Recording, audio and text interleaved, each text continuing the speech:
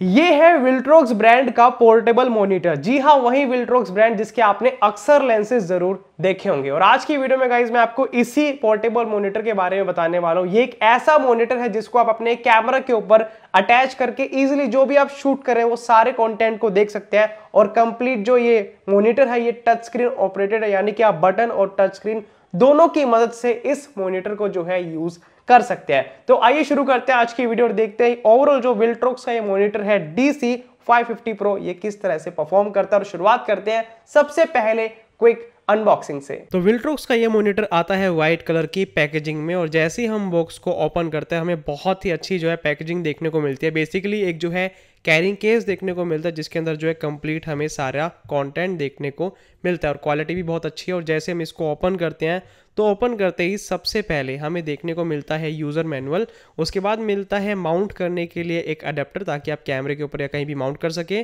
फिर मिलती है data cable USB to type C और फिर मिलती है एचडीएमआई केबल कैमरा के लिए। और फिर आती है मोनिटर की मेन यूनिट तो इस तरह से गाइज़ हमें जो है ओवरऑल मॉनिटर देखने को मिलता है, इसको हम डिटेल में देखेंगे बाद में। But guys in the box हमें ये सभी कंटेंट देखने को मिलता है। अब अनबॉक्सिंग के बाद बात आती है इसके डिज़ाइन और ओवरऑल यूज़र इंटरफेस की कंट्रोल की। इसको थोड़ा डिटेल में जानते हैं कि अगर हम इस मॉनिटर को प्रैक्टिकली यूज़ करते हैं तो हम किस तरह से इसको ओवरऑल यूज़ कर पाते हैं टच स्क्रीन ऑपरेशन या फिर बाकी सारी चीज़ें किस तरह से परफॉर्म करते हैं और कैसे हम इसको अपने कैमरा के साथ कंट्रोल कर पाते हैं। आइए इस सारी बातों को डिटेल में जानते हैं। तो विल्ट्रोक्स का ये मॉनिटर है कंप्लीटली टच स्क्रीन और ऊपर हमें एसडी कार्ड का स्लोट देखने को मिलता है, जहाँ पे हम एसडी कार्ड को डाल के सारे लट्स को जो है इंस्टॉल कर सकते हैं। तो इस मामले में जो है बहुत ही बढ़िया ये आपके काम आ सकता है। अगर आप सिनेमाटोग्राफर है तो आप जो है इस तरह से मेमोरी कार्ड में अपने लट्स को लोड करके वापस इसमें इंसर्ट करके सारे इंस्टॉल कर सकते हैं और अप्लाई करके देख सकते हैं। और ठीक इसी के साइड में हमें तीन बटन देखने को मिलते हैं F1, F2, F3 जिसमें आप कस्टम जो है कोई भी फ़ंक्शन सेट कर सकते हैं और मिलता है बैक का बटन और सेम ऑपरेशन जो है आप टच से भी जो है सारे कंट्रोल कर सकते हैं। आपकी मर्ज़ी आप चाहे तो बटन से कर सकते हैं या फिर टच से कर सकते हैं। और साइड में हमें जो है टाइप सी की मदद से जो है पावर देने का ऑप्शन मिलता है या फिर आप डीसी से भी पावर दे सकते हैं और हमें मिलता है ट्राईपोर्ट का स्क्रू माउंट ताकि आप इसको माउंट भी कर सके ट्राईपोर्ट पे। और नीचे की तरफ़ हमें HDMI इन HDMI आउट और हमें ऑडियो मॉनिटरिंग का जैक देखने को मिलता है ट्राईपोर्ट माउंट के साथ में। पीछे की तरफ़ हमें जो है बैटरी का कंपार्टमेंट देखने को मिलता है। बैटरी साथ में नहीं आती, हमें अलग से लगानी होती है तो मैं यूज़ करूँ डिजिटेक की बैटरी तो इस तरह से आप यहाँ पे बैटरी लगा सकते हैं। और इस मॉनिटर के डिज़ाइन में मेरे को सबसे अच्छी बात यह लगी कि बहुत ही प्रैक्टिकल चीज़ों का ध्यान रखा गया है। लेट्स से अगर आप आउटडोर लोकेशन में हार्श सनलाइट में शूट करते तो आपको इस तरह का इसमें कवर देखने को मिलता है, जिसको हम इजीली डिटैच भी कर सकते हैं, जो मैं आपको आगे डिटैच करके दिखाऊँगा। लेकिन इस कवर का फ़ायदा ये है कि अगर आप सनलाइट में शूट करेंगे तो जो डायरेक्ट सनलाइट है, वो डिस्प्ले पर नहीं आएगी और आप जो है ईजिली देख पाएँगे और इस तरह से आप वापस से इसको फोल्ड भी कर सकते हैं। अब बात आती है इसको डिटैच करने की तो बहुत ही आसान है। आप सिंपली तीनों तरफ़ से इसको इस तरह से डिटैच करके रिमूव कर सकते हैं। चलिए गाइज़ अब करते हैं इसको अपने कैमरा के साथ कनेक्ट और मैं आपको डिटेल में दिखाता हूँ कि इसके यूज़र इंटरफेस में हमें क्या क्या फीचर्स देखने को मिलते हैं और कैसे आप इसको कंप्लीटली यूज़ कर सकते हैं। तो इस मॉनिटर में जब हम F1 बटन को प्रेस करते हैं तो हमें जो है फोकस पिकिंग जो है देखने को मिलते हैं, इसको हम चेंज भी कर सकते हैं। तो आपको फोकस पिकिंग ऑन करनी ऑफ़ करनी आप पे डिपेंड करता है। फिर है सेंटर मार्क का बटन जो है F2 जिसमें आप सेंटर मार्किंग जो है कर सकते हैं। एंड फिर आता है F3 बटन जिसमें हम बहुत सारी एडिशनल सेटिंग्स को एक्सप्लोर कर सकते हैं। जैसे कि वॉल्यूम बार हो गया हिस्टोग्राम हो गया वेक्टर हो गया। मान लीजिए आपको वॉल्यूम बार चाहिए, आप कुछ भी शूट कर रहे हैं ऑडियो लेवल्स पे आपको देखना है तो आप यहाँ से एनेबल कर सकते हैं।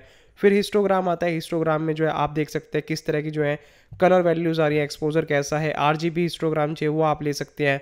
उसके बाद आता है वेक्टर अगर आप वेक्टर को एनेबल करना चाहते हैं तो ये जो है ना सारी चीज़ें, अगर आप एक सिनेमाटोग्राफर है, आपको नॉलेज है कलर ग्रेडिंग की या फिर कलर्स की तो आप ज़्यादा इस चीज़ को समझ पाएँगे कि किस तरह से ये सारे टूल्स हमारे बहुत काम आते हैं। जैसे कि अगर आप अलग अलग लट्स अप्लाई करना चाहते हैं सी लोग एस लोग वी लोग तो आप जो है अलग अलग लट्स अप्लाई कर सकते हैं।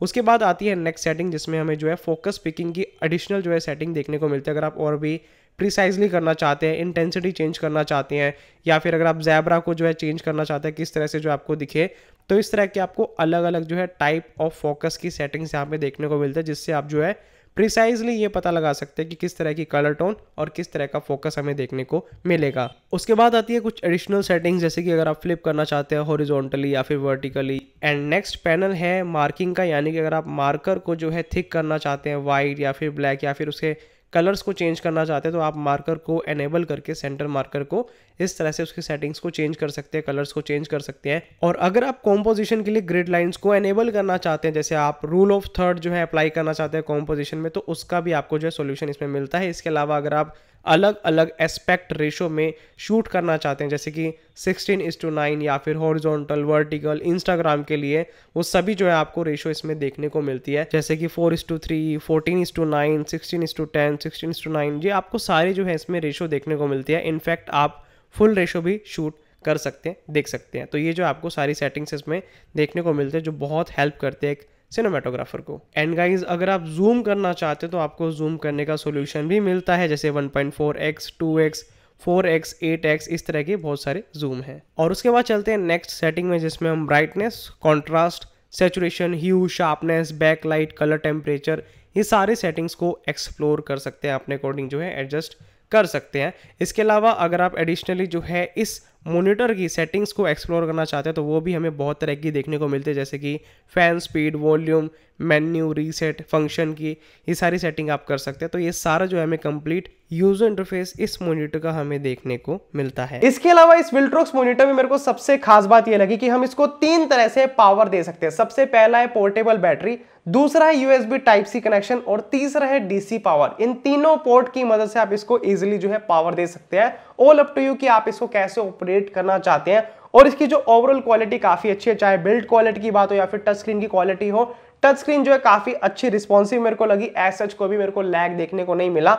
और ओवरऑल जो नीड्स है वो भी काफ़ी अच्छे मतलब ब्राइट डिस्प्ले अगर आप आउटडोर लोकेशन में भी इस डिस्प्ले को यूज़ करते हैं तो आपको कोई भी एज सच प्रॉब्लम देखने को नहीं मिलेगी। और being a professional content creator सबसे ज़्यादा चीज़ पोर्टेबल मॉनिटर को यूज़ करते वक्त जो हमारे काम आती है, वो होता है ऑडियो मॉनिटरिंग और ब्राइटनेस और इन दोनों चीज़ों का इसमें शॉर्टकट दे रखा जो मेरे को बहुत पसंद आया। लेट से गाइज़ अगर मेरे को ऑडियो मॉनिटरिंग की वॉल्यूम बढ़ाने तो मैं सिंपली स्वाइप अप करके स्क्रीन पे जो है जल्दी से बढ़ा सकते हैं। और सिमिलरली अगर मैं ब्राइटनेस बढ़ाना चाहता हूँ बैकलाइट इसकी बढ़ाना चाहता हूँ तो वो भी मैं स्वाइप अप करके बढ़ा सकता हूँ। मेरे को गाइज़ बार बार सेटिंग्स में जाके उस चीज़ को एडजस्ट करने की बिल्कुल भी नीड नहीं है। मैं दोनों को जो है शॉर्टकट तरीके से इजिली एडजस्ट कर सकता हूँ। इसके अलावा, इस मॉनिटर की प्रैक्टिकल यूसेज की बात करें तो इसमें एक चीज़ का बहुत ध्यान रखा गया है कि अगर आप हार्श सनलाइट में आउटडोर लोकेशन पे शूट करते हैं और इसका जो है हीट होने के चांसेस ज़्यादा होते हैं तो इसके अंदर जो है फ़ैन कंट्रोल का जो है आपको ऑप्शन देखने को मिलता है। आप फ़ैन को मीडियम लो हाई तीन ऑप्शन पे जो है कंट्रोल कर सकते हैं। यानी कि अगर आपको लगता है कि आप जो है बहुत जो गर्मी वाला एनवायरमेंट है, उसमें शूट करने वाले हैं तो इसमें आप जो है फ़ैन को तेज भी कर सकते हैं, ताकि ओवरऑल जो मॉनिटर है वो ठंडा रहे। अभी सारी स्पेसिफिकेशन और सारी टेस्टिंग के बाद सवाल ये आता है कि इस मॉनिटर का प्राइस क्या है? तो गाइस प्राइस मैंने यहाँ पर मेंशन कर दिया। आप यहाँ से जो है प्राइस देख सकते हैं। इस प्राइस में जो है हमें मॉनिटर देखने को मिलता है। अगर आप एक ऐसा मॉनिटर चाहते हैं जो टच स्क्रीन से चलता हो और उसके अंदर बटन कंट्रोल्स भी हो और उसके अंदर जो है तीन पावर ऑप्शन हो और भी बाकी तरह के ऑप्शन हो तो आप गाइज़ इस मॉनिटर को कंसीडर कर सकते हैं। एंड गाइज़ वीडियो अच्छी लगी तो वीडियो को लाइक एंड चैनल को सब्सक्राइब ज़रूर करें। स्टेट यून अंटिल नेक्स्ट वीडियो